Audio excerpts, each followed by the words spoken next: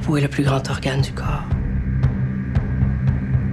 Et le toucher, le sens qui lui est intimement associé, est le premier à se développer chez l'embryon. Et le seul sens sans lequel l'être humain ne saurait survivre.